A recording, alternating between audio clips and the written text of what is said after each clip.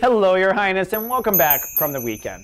Well, sunny and social for the Leos, it's like the weekend just keeps going because the moon yesterday actually went into Gemini, pulling your heart into your more friendship mode or your heart to society. This is the day that you're given to the Red Cross kind of thing. Your heart is with your people, and this is very important to Leos when the heart's of the people because the king or queen is not powerful unless the people believe in them. So you really take this particular transit, I think, more serious than everyone. This is when the Leo calls you out of the blue, like, how are you doing? And you're thinking to yourself, don't you really want to talk about you?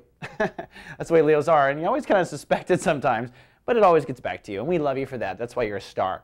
Now, the sun, which is really what we're dealing with spiritually, in the house of communication today, kind of at the end of chapter one, and this is all in Libra, of course, but today ruled by Saturn. So what that tells me is the universe is kind of encouraging a minor decision to be made about the way you talk to others or the way you talk to yourself. And it could all play out by being in your social arena and really having a conversation with your people, your royal court. Just realize it's a very minor decision. Again, I encourage you to start thinking or to start watching your own thoughts and watching your own conversations during the Sun and Libra. You really are upgrading your communication and PR philosophy that will support the new Leo 2.0. It's like you still got you got to basically fire that Leo 1.0 publicist, okay?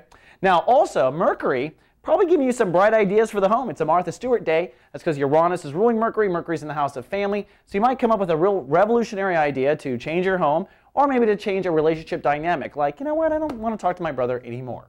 Actually, good thing my brother's not a Leo. So, on top of everything, it looks like you really are processing how to relate to people today. It's definitely a social day. Definitely go with the flow. And like I said, observe your own thoughts right now. That's very important, Your Majesty. All right, that's all we have for Monday. I'm being quirky. See you tomorrow with more. Live, love, be. So